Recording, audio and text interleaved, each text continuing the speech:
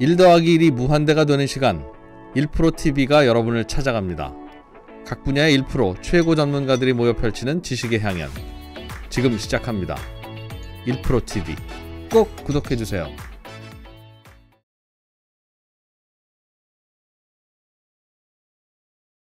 자 그러면 어, 최근에 가장 우리나라 뭐 증권가에서도 또 그냥 사회면에서도 제일 미스테리. 관심을 받고 있는 네, 오스템 임플란트 도대체 어떻게 이런 일이 가능했고 지금 어디까지 와 있는지 이분과 함께 말씀 들어보도록 하겠습니다. 아, 머니투데이 방송의 권순우 기자님 어서 오십시오. 예 안녕하세요 머니투데이 방송 권순우 기자입니다. 네. 일단 임플란트 있습니까 없습니까? 없습니다. 아, 정프로 있습니까? 없어요 저는. 전 많이 있습니다. 임플란트 하셨어요? 있죠. 아 벌써 어금니. 오래됐어요. 아 그렇습니까? 오스템 겁니까 덴티움 겁니까? 제가 말씀드린 독일제를 해가지고 괜히 그걸로 해가지고 지금 AS는 못 받고 있다고. 아 도. 아 하긴 그때는 또 독일이. 아 그때 10년도 더 돼서 음. 그땐 저 외산이 좀 비싼 거였어요. 자, 하여튼 뭐 오스템 임플란트 아 일단 어떻게 된 일인지 막 간략하게 뭐 좀 한번 개요 좀 한번 정리하고 넘어갈까요? 예, 그 간략한 개요밖에 없습니다 내용이 오늘. 아 오늘 웃으면서 할 얘기는 아닌데 그래도 이렇게 너무 월요일 아침부터 쳐져서 하는 거는 조금 그럴 것 같아서 약간 좀 밝은 분위기로 하는 거를 조금은 양해를 좀 해주셨으면 네. 좋겠습니다. 그러니까 사건 자체에 집중하다 보면은 조금 야 뭐 이런 사건이 다 있나 싶어서 좀 그러니까 웃음이 지금도 나는. 저도 이해가 안 된단 말이에요. 음. 그리고 이제 전체적인 횡령액은 조금 늘었어요. 그래서 1,980억으로 됐는데 그리고 또 이제 세부적인 거는 이제 현장에서 취재하고 있었던 그 KBS의 정재우 기자와 함께 좀 이 얘기를 좀 알아봤습니다. 그러니까 이분이 처음에 횡령을 시작했던 것이 이제 와서 드러난 건데 올해 한 지난해 3월에 또 있었더라고요 횡령이. 그러니까 음. 최종적으로 밝혀진 건 12월인데 이분이 횡령했던 내역들을 이제 회사에서 찾아봤을 거 아니에요. 언제부터 한 거예요, 이게? 작년 3월이요. 작년 3월. 예. 예. 작년 3월부터 어, 그때부터 뭐 처음부터 1,900억 이렇게는 안 했을 거고. 그렇죠. 근데 처음에 어떻게 했냐면은 예. 50억 원씩 두 번을 횡령을 했습니다. 아, 간 크다.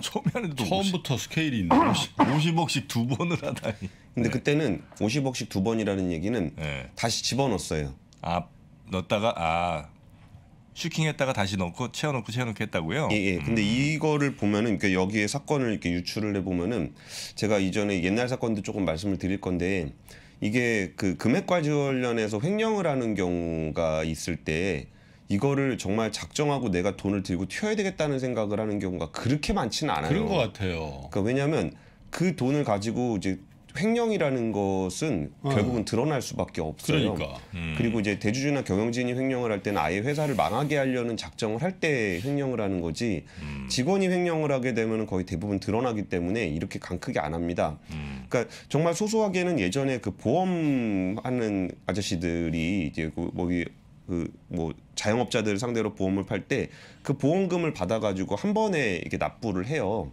음. 보험사에다가 그러면은 이게 예를 들어서 한 달 동안 보험금을 모아가지고 이제 보험사에다 갖다 주는 그럴 때그한달 동안 자기한테 시간이 생기잖아요. 음. 그러면 그 돈을 가지고 그냥 가만히 두다가 아, 주식 투자나 한번 해볼까? 뭐 이런 아. 식으로들 많이 해요. 네네. 옛날 예전입니다. 완전 옛날 얘기- 얘기입니다. 지금은 바로바로 입금이 되니까.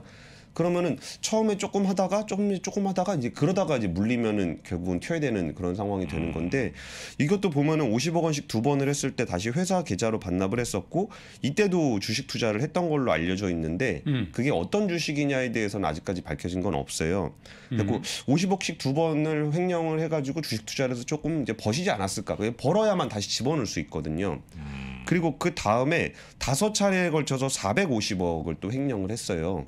그러니까 아 점점 커지네. 네, 한번 해보니까 이게 되더라. 음. 그리고 이게 또 횡령한 금액은 제때 또 집어넣어야 되기 때문에 장기 투자가 좀 힘들어요. 네네. 그러니까 이제. 단기에 딱 해야 되는데 그리고 다섯 번에 걸쳐서 450억을 횡령을 하고 그 다음에 10월달에 1,430억을 이제 횡령을 하게 되는 거예요. 야, 이- 이건 안 채우는 거죠, 그러니까. 그렇죠. 그리고 이게 그 안 채우는 것 들 그러니까 이미 그 동진 세미캠 지분 한 392만 주를 이제 한 1,430억으로 이제 횡령을 해서 샀잖아요. 음. 근데 그 전에도 횡령금 550억 원을 이용해서 이제 주식 투자를 했던 것으로 경찰 수사 결과가 좀 나오고 있어요. 정확하게 내용은 더 알아봐야 되는데. 네. 그러니까 이게 한 처음에 50억 해서 두 번 정도 횡령을 해서 주식 투자를 해보니까 이게 좀 돈을 번 거죠. 그리고서 이제 액수가 커져갖고 이제 450억으로 능력 그 횡령을 했었고 그리고서 이 여기서 조금 손실이 발생했던 것으로 추정이 좀 되고 있어요. 450억 횡령했던 부분에서 네. 그러면 이 손실을 좀 단기에 메워야 되겠지 않, 될 수밖에 없잖아요. 그러니까 단기에 메우려고 하는데 아까 말씀드렸던 것처럼 횡령금은 이게 빨리 단타를 해야 되기 때문에 여기서 이렇게 적은 액수를 가지고 이거를 좀 장기적으로 많이 수익을 내기를 기대하기는 좀 어려워요. 큰 돈으로 살짝 딱 한다. 그렇죠. 그래야만 뭐, 뭐. 이걸 메울 수가 예. 있는 거죠. 그래가지고 이제 단기에 메우려고 430억을 한 번에 횡령을 했었고, 요게 또 타이밍이라는 게 굉장히 중요한데. 그때 이제 동진 세미캠을 뭐 이재용 부회장이 뭐 인수를 한다 그런 예. 좀 루머가 좀 돌았었거든요. 그러니까 그 시점을 본 것 같아요. 아, 요거는 확실하다. 이게 조금이라도 수익이 날 수 있다. 단기에. 음, 그, 러면은 큰 돈을 확 집어넣어 가지고 그렇지. 단기에 또 올라서 딱 팔면 아, 그 전에 횡령했던 돈 45, 450억 때문에 횡령했던 손실을 만회할 수 있다 라고 이제 판단을 한 것 같아요. 그래가지고 그래갖고 딱 주식을 탁 사고 들어갔는데 다들 아시다시피 그 이후에 동진세미금 그 주가가 떨어졌습니다. 네. 그러니까 이제 더 이상 거의 손실을 메우는 것이 불가능한 상황이 아. 돼버린 거죠. 음. 그러면은 이게 사실 체계적으로 횡령을 하려고 했다 그러면은 이렇게까지 허술하게 하지는 않았을 그러니까 거예요. 너무 허술한 거죠. 예. 근데 이익이 났다 그러면 다시 장부에 넣어놨을 때 티가 안 날 거라고 생각을 한 거예요. 왜냐하면 이전에도 몇 번 해봤는데 안 걸렸잖아요. 음. 그러니까 이거를 단타로 쳐서 메운 다음에 이번에 손실을 메워 놓으면 보통 우리가 이제 회계 감사를 할 때 뭐 반기하고 그 연- 사업 보고서를 할 때만 보죠. 그럴 때만 회계 감사를 받거든요. 외부 감사인의 감사를 그렇죠. 받거든요. 그럼 외부 감사인이 와서 뒤져볼 때는 요즘은 뭐 회계 관리에 관리에 문제가 있는 거 아니냐 이런 얘기들 많이 하는데 사실 외부 감사인이 들어가는 시점은 그때 두 번이고 그리고 회사에서 정상적으로 자료를 제출을 하게 되면은 감사 의견은 일단 줄 수밖에 없는 거고 네. 이거를 뭔가 목적을 가지고 들여다보지 않고서는 이거를 찾기가 쉽지 않아요. 그래가지고 제가 요맘때 한 1월 달쯤 요맘때 많이 사고가 나거든요. 음. 제가 한 매년 이 시즌이 되면은 그 저 동전주 투자하시는 분들이나 뭐 작전주나 테마주 투자하시는 분들 한 1월 달에서 3월 달까지는 어지간하면 하지 마시라고 좀 말씀을 좀 드려요. 그러니까 어. 이게 뭐 본인의 투자 성향이 약간 공격적이라 그렇게 단기 투자하시는 분들도 있는데 음. 그렇지에도 불구하고 요맘때는 좀 하지 마라라고 음. 말씀을 드리는 이유가 이때가 감사를 많이 해요. 음. 그래가지고 이럴 때 회사가 많이 망합니다. 그러면 이게 테마주 투자 같은 경우는 뭐 주- 주가의 변동성이 있긴 하지만 그래도 오를 때도 있고 내릴 때도 있잖아요. 네. 근데 이맘때는 한번 감사가 잘못 나오면 그대로 거래 정지가 되거나 아니면 상장 폐지가 되거나 이럴 수가 있어요. 그리고 이때를 좀 조심하시라고 말씀을 좀 드리는데 그래서 이때 그 결국은 그걸 메워서 동진 세미캠프를 만약에 먹었다 그리고 손실을 메웠다 그러면은 이분이 어쩌면 안 걸렸을 수도 있을 수도 있을 것 같아요. 이거 다시 다 메워 넣고서 자료 제출하고 그러면 괜찮을 수도 있을 것 같은데 여기서 이제 물린 게 이제 큰 문제가 되면서 이때부터 이분은 도망칠 계획을 하게 되신 걸로 추정이 돼요. 왜냐하면 그때부터 그러면 금 사고 한 거예요? 맞아요. 그때부터 그 돈을 현금화를 해서 그 돈을 가지고 금을 사고 부동산을 사고 그러는데 이때 391만 주를 사서 한 336만 주를 샀고 팔았고요. 이 과정에서 336억 원 정도를 손실을 본 걸로 알려져 있는데 실제 손실은 336억은 훨씬 안 되는 것 같아요. 그러니까 이게 또 왜 중요하냐면 나중에 회수할 수 있냐 없냐. 그러니까 그게 해서. 우리는 관심이죠. 예. 근데 이분의 매수 단가가 3만 6천 원 정도 되거든요. 네. 근데 매도를 했던 거 보니까 3만 7천 원에 일부 팔고 그다음에 3만 6천 원 밑으로 내려와서 이때부터 계속 팔면서 3만 2천 원까지 주식을 매도를 했어요. 이게 최종 매도가 12월 20일이거든요. 그러면 요 요때 이제 한 300억 정도 손실을 봤다라고 보는 건데 그 당시에 이분이 주식을 다 판 게 아니에요. 한 50만 주 정도는 남았었거든요. 음. 근데 공시에서 사라졌기 때문에 기자들이 이제 그런 식으로 추정을 했던 것 같아요. 근데 동미진 세미캠 주가가 이분이 최종 매도가 12월 20일입니다. 근데 21일 날 그 다음 날 18%가 올랐어요. 우- 우리가 많이 경험하죠. 아. 뭔가 아, 최종 매도하고 나서 최종 매도는 아니고 331만 주. 대부분 팔고 대부분 나서 팔고 나서. 아, 그러면 우리가 이런 경험 많이 하죠. 혹시 내 계좌를 누가 들여다보고 있는 게 아닐까? 아. 왜 내가 딱 매도를 하는 순간 주가가 확 오르잖아요. 네네. 그러니까 이게 21일 날 18%가 올랐고 그리고 12월 21일부터 영업일 기준 말일까지 그때까지 어 3만 2천 원이었던 주가가 5만 2천 원으로 62%가 올랐어요. 아유. 그러니까 이분이 만약에 그거를 들고 있었다면 뭐 좀 그 손실을 메울 수 있었겠죠. 근데 여기서 손실을 보고서 이게 되게 무서 무섭잖아요. 이걸 팔아가지고 단타 단타 칠라 그랬는데 떨어져 버리면 음. 그래갖고 이제 매도를 빨리 하고서 이제 도망칠 준비를 했어야 되기 때문에 매도를 하실 수밖에 없었던 것 같은데 음. 이게 어쨌든 336만 주를 팔고도 55만 주 정도가 남았어요. 그러니까 이후에 주가가 더 올랐기 때문에 어느 정도 손실이 좀 만회됐을 걸로 보이고 최종적으로 동진 세미캠 투자로 손실을 본 거는 한 70억 원 정도 를 경찰에서는 추정을 하고 있어요. 음. 그 지금 평가 이나나돼 있는 거 감안해서 그렇죠. 동결돼 있는 계좌에 주식이 지금 묶여. 평가 이길 테니까. 예, 그거는 이익을 봤을 거니까 한 70억 원 정도 손실이 나지 않았을까라고 생각이 드는 거. 요거랑 뭐 약간 좀 관련이 아주 없진 않은 것 같은데 예를 들어 제가 500억을 횡령해 갖고 그걸로 주식 투자해서 한 50억 벌었어요. 예. 나중에 이제 횡령 걸렸죠. 500억 다 그대로 갖다 놨어요. 그러고 나서 50억도 다 뺏어가나요? 그렇죠. 그거 이제 부정수익이라고 그래서 범죄 범죄 수익으로 인한 범죄 저, 저 수익이죠 그게. 예, 예, 범죄 수익으로 다 어. 들어갑니다. 아 그런 것도 뺏어가요. 그 음. 많은 분들이 착각하는 것 중에 하나가 횡령이라는 거는 이게 돈을 다시 집어넣는다고 해서 되는 게 아니에요. 네. 그러니까 돈을 뺐다가 다시 집어넣으면 그것도 안 됩니다. 음. 제전에 제가 그 코스닥 취재할 때 만났던 어떤 CEO 분은 자기가 그 사채업자한테 돈을 빌려서 회사 돈을 메운 적이 있어요. 회사가 너무 힘들어서 음. 사채업자한테 돈을 빌려가지고 그걸로 이제 회사가 돌아가게끔 돈 돈을 넣었다가 음. 그 자기가 는 돈을 뺀 거예요. 그러니까 자기 자기 돈이 자기 돈. 음. 근데 그것도 횡령이었어요. 어. 그러니까 그래가지고 그 구속이 되셨는데, 그러니까 음. 그 횡령이라는 그 검찰에서도 되게 어이없어하는 그런 일이 좀 있었습니다. 이렇게 진짜 플러스 횡령이죠. 회사에다가 이익을 준 횡령 사건. 음. 근데 그건 이제 회계 처리를 안 해서 그렇겠죠. 예를 들면 뭐, 뭐 임직원 임직원이 회사한테 대여를 했다거나 이걸 회계 처리를 한 다음에 맞아요. 그 다음에 대여금을 반환하는 그런 절차를 회계적으로 하면은 맞아요. 예, 외부 감사인이 인정할 텐데 예, 예. 그냥 넣었다 그냥 빼는 거지. 예, 그러면 그건 횡령이. 돼요. 그러니까 그분도 어쩔 수 없이 어쩔 수 없이가 아니고 그건 횡령이니까. 그래 결국은 구속되셔가지고 결국 이제 그 저 실형을 사셨는데 그러니까 이게 그 돈을 잠깐 회사 돈 넣었다 빼가지고 내가 뭔가 회사에 도움이 될 수 도움이 된다고 하더라도 그건 안 되는 겁니다. 네네네. 그리고 이분이 이제 그 주식을 판 다음에 이제 이분이라고 좀 그만하시랍니다. 이 사람. 예. 그건 뭐라 이 양반 되죠? 정도 괜찮은 것 같습니다. 이 사람. 아, 이 사람으로 이 사람으로 무죄. 추정의 원칙은 없는 겁니까? 아니 뭐 예. 그래도 예. 어, 이 어쨌든 사람 그러면은 이, 뭐, 예. 이, 이 사람이라고 이 할게요. 사람. 예. 네. 그러니까 이 사람이 이제 도망칠 준비를 하기 시작해요. 네. 돈을 이제 횡령한 사실을 다시 메워놓을 수가 없는 상황이 됐기 때문에 음. 그래가지고 주식, 그러니까 이제 금괴를 사기로 했습니다. 음. 이게 왜 금괴를 살 수밖에 없냐면은 그러니까 현금을 가지고 다니게 되면 현금을 제가 그한 1,900억 정도를 5만 원권으로 사과 박스에다 넣으면 몇 박스나 될까 했더니 한 180박스 정도 되더라고요. 근데 이날 기억하시는지 모르겠는데 그, 저 그냥 방송하는 날 이게 저기 됐었잖아요. 그리고서 이제 가는 길에 막 이 정보들이 막쫙 아, 들어오는데? 예. 예, 그날 정보가 막 들어오는데 갑자기 그날 그 월북을 하신 분이 아, 또 있었어요. 22사단. 예, 아, 그 뉴스가 또 같이 있었구나. 예, 그래가지고 그때 혹시 오스템에서 횡령하신 분이 월북을 하신 거 아니냐, 막 이런 얘기가 좀 돌아가지고. 아. 그래가지고 그때 그걸 다시 찾아봤는데 사과 박스 150박스를 들고 북한을 갈 수는 없잖아요. 음. 트럭으로 가도 한 두 대는 가야 되니까 네네. 이게 엄청난 규모의 현금. 그러니까 우리가 어느, 어느 정도 작은 돈은 되게 탐을 낼 수 있는데 음. 굉장히 큰 돈은 흔적을 안 남기기가 정말 어려워요. 일단 그 계좌로 들어가면 다 기록에 남고 음. 이거를 현물로 가지고 있을 때도 거의 뭐 트럭으로 움직여야 아, 되기 그렇죠. 때문에 이게 쉽지 않아서 처음에 이분이 그 금괴 상담을 하신 얘기를 제가 정재우 기자한테 들었는데 처음에 1톤을 원래 살려고 했었대요. 금을? 예, 금괴 1톤을. 아, 여기도 제정신은 아니네.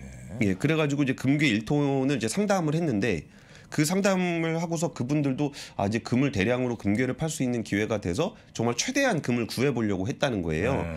그래 가지고 이제 구한 금이 금괴 1kg짜리를 850 원래 다섯 개, 855개 거의 1톤이네. 거의 1톤을 그러니까 정말 그분들도 열심히 금을 모은 거죠. 그분들을 대박이라고 생각하는 거지. 어, 그렇죠. 그래가지고 681억 원어치의 금괴를 어떻게든 조달을 했습니다. 네. 그래서 그 그때 상황 얘기를 들어보니까 그분이 뭐 와서 금 갖고 왔더니 뭐 이거 진짜 금 맞냐 그러면서 뭐 들여다보고 뭐 그래가지고 횡설수설 했겠지. 예 그리고서 나중에 그 금괴를 배달 배달하신 분 얘기가 아니 뭐 그 어차피 지 돈도 아닌데 뭐 이렇게 사기 당할까봐 자기도 사기 쳐서 돈 생겼으니까 뭐, 뭐 이렇게 사기 당할까 봐 이렇게 걱정을 해 막 그런 음. 후일담이 금좀 파는 있었다고. 사람 아는 거지.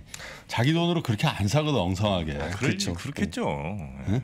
그래가지고 정확하게 말씀을 드리면 이게 지금 880, 855개냐 851개냐 요게 그냥 뭐 그냥 취재하는 기자들 사이에선 좀 애매한데 그분이 가지고 있었던 금괴는 851개가 맞고요. 음. 원래 사기로 한 거는 855개가 맞아요. 음. 근데 4kg 분량의 금을 못 구했대요. 음. 그러니까 이거를 갖다 팔아야 되는데 이분도 이제 주변에 아는 그 금 유통하는 분들 다 동원해서 금을 조달을 했을 거 아니에요. 음. 그런데도 850 다섯 개를 못 구해가지고 원래 네 개는 1월 3일 날 나머지 4kg를 또 나중에 받기로 음. 했었다고 해요. 음. 그러니까 이 과정 자체가 얼마나 급박하게 진행이 아, 되고 정말 허술하게 진행이 됐는지를 그렇게 뭐 1kg 가까이 되는 금을 갖고 어떻게 하려고 그걸 1톤 1톤 가까이 되는 아, 거로. 1톤 참. 음. 예. 이해가 그러니까 뭐. 예를 들면 나중에 뭔가 뭐 어찌 걸릴 가능성이 있다고 생각했겠죠 당연히. 그러면 자기가 뭐 산 같은 데다 어디다 묻어놓고서 묻어놓고. 묻어놓고서 묵비권 행사하고 10년 살두고 그렇죠, 나와서 그렇죠. 그걸 파서 쓴다? 예. 그거 말고 뭐 있겠어. 그런 상상력을 발휘한다? 근데 그거가 정말 그 단순한 상상력인데 음. 그렇게 해서는 그 돈 다 걸립니다. 보통은 다 세탁을 좀 할 필요가 있고 또 해외로도 좀 돌릴 필요가 있는데 아, 10년 지나서 내 가족 중에 예를 들면 뭐 저 조카 야 너한테 이게 걸 시키면 될 거 아니에요. 아 그게 두 개 팔고 와 이렇게. 아, 약간 그렇게 큰 돈은 예. 그렇게 쉽게 숨기기가 어려워요. 그러니까 세탁을 하는 것도 그러니까 머니 런더링도 약간 좀 전문적인 음. 지식들이 좀 필요한데 뭐 제가 과거의 사건들을 보면 예를 들면은 어한 수십억 원 정도 한 100억대 이하 돈 정도는 카지노에서 좀 세탁을 하시는 경우가 좀 있어요. 가가지고 이제 카지노에서 칩을 바꿔서 그럼 현금이 글로 들어갔다가 칩으로 다시 갖고 나오 칩으로 다시 현금화 시켜서 나오면은 이게 카지노에서 뭐 돈을 잃었는지 땄는지 그런 것들이 확인이 안 되잖아요. 그런 경우가 좀 있고 뭐 저런 경우도 있어요. 이제 해외에다가 법인을 만들어서 거기서 뭐 해외 투자를 했다. 음. 그래가지고 이게 이제 법인 대 법인으로 사업 자금을 넘긴다거나 그리고서 거기서 아유 우리가 거기서 뭐 사기를 당했다거나 아니면 해외 투자를 해서 손실을 봤다거나 이런 식으로 처리를 하는 경우가 있어요. 근데 이게 그러니까 투자 손실 같이 명확하게 돈을 삭제하지 않는 이상은 이게 돈을 거기서 단순하게 숨겨서 하기는 쉽지 않습니다. 그리고 어쨌든 이분은 금괴 말고도 이 사람 이 사람. 아 이분 이 사람 complain이 엄청 많아요 지금. 아 그래요? 지금 오스템 임플란트 주주 입장에서 보면은 예. 사실 좀 감정이입이 아, 되거든. 그렇죠. 예. 아 근데 제가 그렇게 방송할 때 반말을 하는 게 좀 익숙하질 않아 가지고 아, neutral하게 하자는 거죠. 예, 최대한 하여튼 뭐 좀 노력해 주시고 아니 뭐 정 어쩔 수 없는 건 예, 뭐. 이 사람, 예, 이 네. 사람, 예, 금괴 말고도 파주의 오피스텔과 아파트를 부인 명의로 한 30억 원 가까운 것을 매입을 한 게 있고요. 음. 처제 명의로 고양시에 있는 아파트 16억 5천만 5천만 원. 음. 그리고 제주 서귀포시의 고급 리조트 회원권 부인 명의로 아이고, 30억 원 정도 구입을 답답하다. 했는데요. 이게 이게 이제 주먹구구로 제가 좀 계산을 해보니까 그 아까 주식 그 동결된 거 그게 한 250억 정도 있고 부동산이 75억 원 금괴가 전액이 회수된 건 아니에요. 여기서 전체 회수를 못 해가지고 일부 회수를 해서 한 400억 그리고 현금이 그 집에서 한 4억 3천만 원 정도가 발견이 됐다고 합니다. 음. 그래가지고 그걸 한 730억 정도로 계산이 가능하고. 예, 그런 이미 그러니까 눈에 보이게 찾았고 음. 예. 그러면 아직도 한 천억 원 정도는 더 1200억 찾아야 나오네. 돼요. 예. 근데 네. 이거는 어떻게 찾아야 되는지가 좀 애매합니다.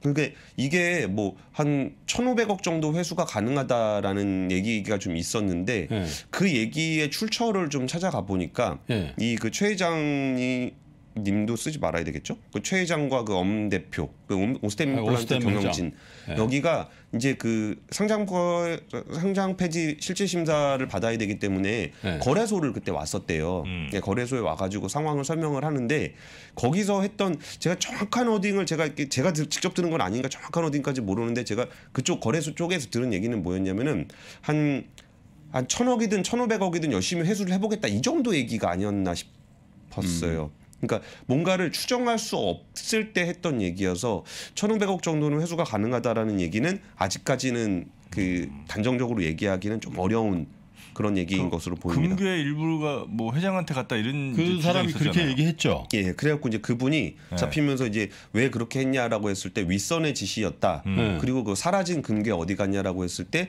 그 금괴는 윗선의 지시를 받았기 때문에 그 최 회장에게 돌려줬다. 이제 얘기를 이렇게 하고 있는데 이거는 제가 보기엔 아까 정프로님 얘기가 오히려 더 가깝지 않을까 싶어요. 이제 금괴를 다 숨기지 못하고 이거를 일부가 남아 있는 거를 숨기고서 이거를 자기의 책임을 좀 넘기기 위해서 회장을 판 게 아니냐라고 그러니까 이거는 수사당국의 추정이에요.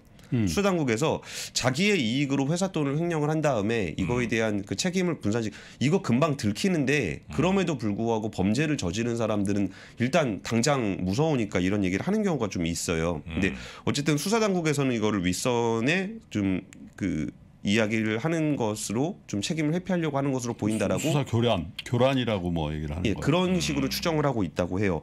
근데 이분이 사실 그렇게 그뭐 꽤 부자였던 것 같아요. 누가요? 이 이, 이, 이 사람 피해자? 이 사람 예, 횡령한 사람. 예. 부자였어요? 예.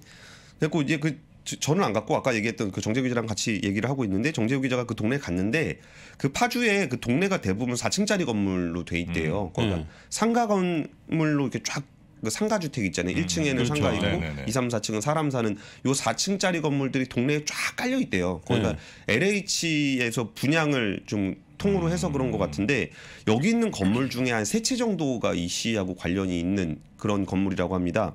그래서 한 이게 처음에 4억의 분양을 받았는데 현재 호가는 한 19억 정도가 되고 매매가는 대충 한 15억 정도가 되는데 그러니까 최소한 한 15억짜리 세 채면 한 45억 정도 건물은 가지고 계신 분이에요. 원래 횡령 전. 예, 원래. 그럼 왜 횡령을 해서 그렇게 하지? 40억이나 있는데? 그러니까 이게 제가 아까도 설명을 드렸지만 이게 금전적 횡령을 계획적이지 않게 하시는 분들의 특징이 이게 잠깐 빼서 벌고 다시 집어넣으면 된다라고 생각을 하시는 경우가 많아요. 음. 그러다 보니까 이게 좀 그 원래 좀 부자였던 사람인 거고 이게 그 현장에 있던 경찰이나 아니면은 그 기자들이 거기 CCTV를 확보하기가 되게 어려웠는데 음. 그러니까 CCTV를 확보 그러니까 CCTV가 보통 이렇게 4층에 이렇게 설치가 돼 있거든요. 네. 근데 4층은 보통 주인집들이 많이 살아요. 그렇지. 그리고 그분이 사는 건물이 있고 그 옆에 이제 그 사람을 찍을 수 있는 CCTV가 이렇게 있잖아요. 근데 양쪽 건물이 다 이 씨하고 관련이 된 건물이어서 그 CCTV를 그 집주인들이 다 건물주가 가지고 확보를 했기 때문에 이걸 확보를 하기가 되게 어려웠다고 합니다. 그리고 체포되던 날도 되게 황당했던 게 이때 이제 회 씨, 이 씨가 이제 없어졌다. 라고 이제 다들 알려져 있어가지고 그 근처에 뭐 경찰이라든지 기자들이라든지 엄청 많이 깔려 있었대요. 그렇죠.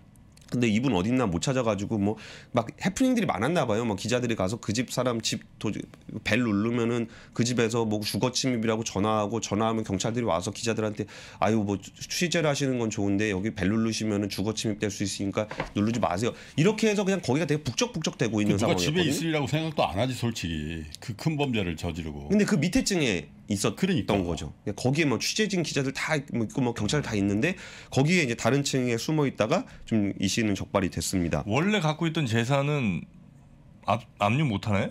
그것도 이제 민사로 압류를 할 수 있죠. 회사에서. 아니 본인 이름이 아닌 경우에 아내 이름은 다 넘겼다면서요? 그러니까 이것도 그 명의가 그 자기가 잘못된 돈을 확실하게 넘겼다라는 거는 명의를 바꾸더라도 다 그분으로 귀속이 돼요. 그래서 어 내가 그러니까 숨 빼돌린 돈을 가지고 남한테 주거나 그러면은 이 돈이 원래 이거다 그래가지고 다 귀속이 다시 돌아갑니다. 그러니까 회사에서는 이거를 추징을 할 수 있을, 그러니까 추징이란 표현이 제가 법적인 용어가 아니어서 잘 모르겠는데 어쨌든 그 돈을 회수를 할 수 있을 거라고 보입니다. 금배 851개 중에 한 497개를 좀 다시 회수를 했고 나머지 354개의 소재가 불분명한 상황입니다. 그러니까 그거는 지금 저 실토를 안 했기 때문에 어디다 숨겼는지를 얘기를 안 하고 있는 상황이라서 회수가 못 된다 이거죠. 그렇죠. 그러니까 이거를 만약에 자기가 아까 정프로님 말씀대로 어디다 갖다 묻어놨다면 음. 자기가 묻어놓은 금괴는 자기가 나올 때까지 빵에 갖다 나올 때까지는 잘 숨겨져 있어야 되잖아요. 음. 그러니까 그 금괴 어디 갔냐 그랬을 때 막 우리 회장 갖다 줬다 막 이런 식으로 얘기한 걸로도 좀 보고 있더라고요. 어디로 숨겨놓고 자기가 숨긴 사실을 좀 감추고 하려고 하는 거 아니겠느냐. 네. 그리고 되게 뭐 소소하고 별거 아닌 얘기인데 이게 그 어떤 횡령을 하는 사람의 마음을 조금 이렇게 추정해 볼 수 있는 그런 거예요. 그러니까 이게 갑자기 엄청나게 큰 돈이 생기면은 음. 자기의 일상하고의 괴리가 너무 큰데 이분이 이제 건물이 세 채가 있고 이제 거기에 1층 그러니까 1층에 이제 그 상, 상가가 있잖아요. 음. 거기 임대료가 한 250만 원 정도 된다고 해요. 네. 근데 11월 말쯤에 와 가지고 임대료를 좀 올려 달라 그랬대요. 11월 말 이미 횡령한 이후네. 그쵸. 네. 그러니까 1,800억 횡령해가지고 그거 가지고 주식 투자하고 있던 사람이 네. 거기서 이제 그 내려와가지고 야 우리 거그 임대료 좀 올려줘라. 음. 그리고 임대료가 이제 상한선이 5%잖아요. 네. 그 5%다 올려줘라 그랬고 그 상인들이 아 지금 코로나 때문에 너무 힘들어서 이거 조금 아니, 올해만 좀 넘겨주면 안 되겠냐 그랬더니 이게 아니, 절대 안 된다고 5% 올려야 된다고 막 그리고 호통을 치고 갔대요. 음. 그러니까 이제 그 상인들이 이제 거기서 뭐 기자들이나 경찰하고 얘기할 때 아이 무슨 1,800억 횡령해갖고 한 사람이 그 나 안 그래도 저기 힘들어 죽겠는데 거기서 몇만 원 올려달라고 막 그런 상황이었다고. 음. 그래서 근데 결국은 최종적으로 그 계약서는 안 썼는데 네. 그리고 사는 얘기가 그 계약서를 쓰기로 원래 12월에 오기로 했는데 그 시점을 보니까 그때 뭐 주식 팔고 뭐 금괴 사고 뭐 집 사고 그러느라 정신없어 그런 거 아니냐 뭐 이런 일들이 현장에서는 조금 네. 사건의 전말로 좀 얘기가 되고 있습니다. 그 그리고 좀 네. 여기서 좀 걱정되는 회사가 좀 있는데 네. 이게 회사 이름을 얘기해도 되나? 해도 해도 돼요?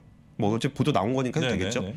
그 ASP 홀딩스라는 회사가 있어요. 네. 여기가 지금 문제가 되는 게 최규옥 오스템 임플란트 회장이 본인 주식을 담보로 한 1,100억 원 정도를 받았거든요. 대출을. 음, 맞아서 예, 주식 담보 대출을 받았는데 이 담보 대출을 받은 게 뭐 이거 오스템 주식 가지고서 지금 다- 담보 대출 해 보신 분들은 알겠지만 증권사들이 이거를 다 자산 가치를 어, 담보 가치를 없애 버렸어요. 음. 그러면 이게 최규혁 회장 같은 경우도 뭐 당장 상환이 안 들어올 수 있을지 모르겠지만 이게 만기가 되면 연장이 쉽지 않은 상황이거든요. 음. 그러면 이 돈을 갚아야 돼요.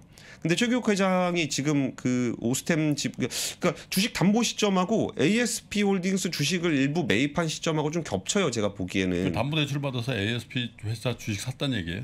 그러니까 전체는 아닐지 모르겠지만 어쨌든 여기에 연결된 건 좀 있어 보이고 설사 이걸 담보로 받은 돈으로 사지 않았다고 하더라도 여기서 주담대 상환을 요구를 하게 되면은 이게 유동화 가능한 자금들은 빨리빨리 처분을 해야 되거든요 최경 회장 입장에서는 근데 ASP 홀딩스 주식을 한 200 어. 3대 주주예요. 273억 원 정도를 샀어요. 근데 여기서 한 20% 정도 물려 있는 상황이긴 하거든요. 근데 만약에 이거를 주담대를 갚기 위해서 주식을 매도를 하게 되면은 ASP 홀딩스의 3대 주주 물량이 나오면 음. 주가에 좀 악영향을 미칠 수 있을 것 같아서 제가 이름 얘기하기를 조금 어려워했던 겁니다. 보도가 되- 됐나요? 보도는 됐습니다. 네. 예. 보도 됐으면 뭐 네, 네. 그리고 워낙 3% 영향력이 강해서 그리고 이게 저는 되게 가까스로라는 생각이 좀 들었던 게 이게 그 최규욱 회장 주담대가 연장이 된 것 중에 가장 최근 거를 보니까 12월 30일에 대신증권 9만 주가 올해 6월로 연장이 돼 6개월 연장된 게 있어요. 네. 근데 이게 드러난 게 12월 말이었잖아요. 근데 만약에 12월 30일 전 만약에 대신증권 만기가 12월 30일이나 1월 1일이었다면은 그때부터 바로 이 회수 들어가고 그다음에 바, 바로 매도 들어갔을 수도 있어요. 거의 반대 매매 수준으로 나왔을 수도 있어요. 근데 어쨌든 지금 당장 만기가 돌아오는 대출은 없는데 2월 달부터는 만기가 돌아오는 네. 주담대들이 좀 있어서 이 주식담보대출을 갚으려면 APS 홀딩스 주식을 처분을 해야 될 수 있다라는 관측이 좀 나옵니다. 참고로 APS 홀딩스는 그 AP 시스템즈라고 아세요? AS, APS 그죠? APS. 예. 음. 그러니까 AP 시스템즈라고 반도체 디스플레이 장비 업체 있어요. 좋은 회사 아니에요? 굉장히 우량한 회사입니다. 네. 그러니까 이 회사가 인적 분할을 해서 지주사를 만든 게 APS 홀딩스예요. 그래서 그 밑에 뭐 DNT, 제니스월드, 코닉, 오토메, 어, 코닉 오토메이션 같은 그런 장비들 가지고 있는 회사인데 이 회사, 그러니까 이 회사를 왜 샀는지에 대해서는 다들 좀 퀘스천 마크가 좀 있기는 합니다. 근데 뭐 중국에 대해서 워낙 밝기 때문에 그 네. 중국 사업 관련한 기대감이 있다는 얘기 좀 나오고 그 회장에 뭐 특별히 이제 수상한 뭐가 더 있는 게 아니라면 혹시 어, 주식을 갖고 있는 우리 오스템 임플란트 주주들이 회사의 어쨌든 관리 감독의 부실로 인한 이제 어마어마한 손해가 생긴 거잖아요. 그래서 주가가 예를 들어 뭐 지금 현재 거래도 못 하고 있지만 나중에 거래 재개되더라도 뭐 아주 떨어진다든지 아니면 어, 아예 그 정지 혹은 상폐가 돼갖고 막 손해를 어마어마하게 봐요. 예. 이런 경우 그 회사를 상대로 손해배상 소송 같은 걸 할 수 있습니까? 할 수 있겠죠. 할 수 있죠. 주주대표 소송할 수 있습니다. 할수 아. 그럼 이제 그거는 이제 받을 수도 있고요. 그거는 근데 이 사건하고는 별도로 진행이 될 거예요. 음. 이전까지 이렇게 해서 주주들이 저 받은 경우들이 있어요? 저는 이런 걸로 해서 받았다는. 소식은 저- 들어본 저, 도 들어본 적은 없습니다. 그러니까 이게 네. 보통 이런 사건들이 나면 어떻게 되냐면은 지금 오스텐 같은 경우는 굉장히 특이한 사건이에요. 이게 개인 횡령이잖아요. 개인 직원 횡령이잖아요. 네. 예전에는 뭐 이렇게, 이렇게 큰 돈을 횡령하려면 대표이사 대주주가 보통 횡령을 하기 때문에 네. 나중에 이 회사가 잘 안 되고 나서 주주들이 대표 소송을 하더라도 받을 수 있는 게 거의 없는 경우가 대부분이에요. 껍데기밖에 안 남으니까. 그렇죠. 음. 그리고 주가가 하락한 것에 대해서 소송을 해서 이기는 경우는 우리나라 사례에는 거의 없어요. 그리고 음. 우리나라 같은 경우는 주주 대표 소송이 증권 관련한 집단 소송이 절차가 굉장히 복잡합니다. 그리고 시간도 음. 굉- 되게 오래 걸려요. 보통 10년씩 걸리고 이거는 육심 아니냐라는 얘기가 나올 정도로. 그러니까 이거를 진짜 소송 대상이 되는지에 대해서도 판결을 받아봐야 되고 판결을 받고 나서도 우리나라보다 3심인데 음. 이걸 소송해도 되는지에 대해서도 뭐 또 판결을 받아봐야 돼서 우리나라 집단 소송은 너무나 그 복잡하게 돼 있다는 것도 문제로 좀 제기가 되고 있고 네. 이것 때문에 이번에 그 대선 후보들 자본시장 공약 중에서도 주주 대표 소송 관련한 얘기들도 좀 나오고 있습니다. 음. 그리고 이게 또 몇 가지 문제점들이 나타나는 게 오스템이 현금 자산이 너무 많이 가지고 있다는 것도 문제예요. 문제라고 지적이 되고 있어요. 그러니까 우리가 자산이 있으면 그거를 뭐 투자해서 돈이 있으면 어디 투자를 해놓던가 아니면 뭐 이게 뭐, 뭐 금융 상품에 가입하거나 그래야 되는데 단기성 금융 상품이 거의 3,700억 정도 돼요. 이게 이 어느 정도냐면 자기 자본이 2,600억인데 현금성 자산이 3,700억이나 되니까 이래서 그 회장에 대한 의혹이 또 나오는 겁니다. 그때 그때 횡령해서 쓰려고 현금으로 다 갖고 있었던 거 아니냐. 음. 뭐 이런 좀 얘기가 나오고 있는데 오스템 쪽에서는 M&A 하려고 좀 실탄 준비 마련을 해놓은. 거다. 뭐 이런 얘기들을 좀 하고 있습니다. 근데 이분이 예전에 2014년에 임직원 횡령으로 실형을 받은 적이 있으셔서 누가요? 최규옥 회장이 아 그래요? 예. 그러니까 이게 있어요? 예, 불법 리베이트. 그러니까 치과 의사들한테 수십억 아. 원의 불법 리베이트를 제공을 했는데 네. 그 제공한 돈이 대부분 이제 비자금으로 조성이 돼서 그때 실형을 받은 적이 있어서 그래서 이런 얘기가 좀 나와요. 이게 좀 회장하고 좀 관련이 있어서 그때 그때 회장이 좀 돈 빼달라 그런 거 아니냐 뭐 그런 거 있고 그리고 이거 하나 더 강조드리고 하나 말씀드리고 싶은 거는 오스템은 아닙니다. 그러니까 오스템 임플란트입니다. 오스템이 아니에요. 오스템이라는 자동차 부품사가 있는데 요새 그 안마 의자 만드는 근데 여기가 지금 오스템 임플란트하고 어- 얽혀가지고 지금 주가도 떨어지고 항의가 많이 그러니까 들어온다 그래서 두 개 중에 비싼 거예요. 비싼 거 10만 원대. 예 비싼 그게 때문에 거는 문제 생긴 거죠. 네, 네. 싼 통상 싼 주식이 이런 일을 많이 하기 때문에 오해를 하시더라고. 이름 겹치면 오스템은 굉장히 주가가 저렴하고 예, 예. 문제 오스템 임플란트는 거래 정지지만 10만 원대잖아요. 예, 예, 예. 근데 비싼 주식. 예, 그래서 뭐 횡령금을 찾았다 그러니까 갑자기 오스템 주가가 막 올라가기도 하고 막 그러니까 그 말씀을 드리고 회사 쪽 입장은 일단은 한 횡령액을 제외 하더라도 천억 원 넘는 현금성 자산이 있고 해외 법인에도 한 1,400억 정도가 있으니까 이게 자기 자본 대비 50, 어, 90 뭐 1% 얘기하는 거는 2020년 기준이었다. 우리가 올해 장사를 되게 잘해가지고 돈을 좀 많이 벌어서 자기 자본의 59% 수준이고 이게 그 모두 손실 처리를 하면 수백억 규모의 적자가 나겠지만 회사의 건전성에는 문제는 없다라고 이제 회사 쪽에서 밝혔습니다. 근데 여기서 악화되는 경우는 뭐냐면은 이게 한번 일이 잘못되기 시작하면 막 꼬이거든요. 그러니까 예를 들면 갑자기 은행에서 대출을 상환을 해달라고 요구를 한다거나 아니면 그동안 빌려줬던 어음에 대한 상환이 롤오버가 안 된다거나 그런 상황들이 있을 수 있어서 지금 회사 쪽 입장은 뭐 그 크게 문제는 없다라는 건데 이런 것들을 종합해 보면은 안 좋은 말씀은 앞으로 스케줄이 어떻게 됩니까? 그래서 24일 날인가에 저기를 할 거예요. 상장판 실심사에 대한 결과가 나올 건데 실심사를 받을 건지에 대한 결과가 나올 건데 네. 그렇게 되면 생각보다 이 거래 거래 정지 기간이 길어지죠. 길어질 수 있을 것 그러니까 같아요. 24일 날인가 상장 심사 상장 심 상장 폐지 실질 심사. 할 거냐 알 거냐. 네. 안 한다 그러면 거래 재개죠. 그렇죠. 근데 한다라고 가면 이제 좀 오래 걸릴 수 오래 있죠. 걸린다. 예. 그리고 지금 자금 회수하는 기간들도 다 필요하고 해서 그리고 네. 이게 아까 말씀드렸잖아요. 한번 꼬이기 시작하면 정리해야 될 게 생각보다 많아진다고. 그래 아까 뭐 주담대가 어떻게 되는지 이런 부분들이 다 정리가 돼야 거래가 거래 재개를 할 수 있거든요. 그래서 이게 아예 상장 폐지가 돼서 회사가 망할 건 아닐 거예요. 워낙 경쟁력이 있는 회사니까. 네. 근데 거래 정지 기간은 우리가 예상했던 것보다는 조금 길어질 수 있을 것 같다라는 말씀을 드리고 싶습니다. 알겠습니다. 알겠습니다. 그 예전에 우리 그 인보사 관련해서 왜저 변호했던 변호사 있었잖아요. 네. 그 출연했었는데 네. 이번에도 보니까 그 오스템 관련해서 또 모였더라고요. 예, 그 회사로. 인보사 그때 그거 해가지고 그 이후에 바로 그런 일이 있어가지고 그때 있었죠. 예.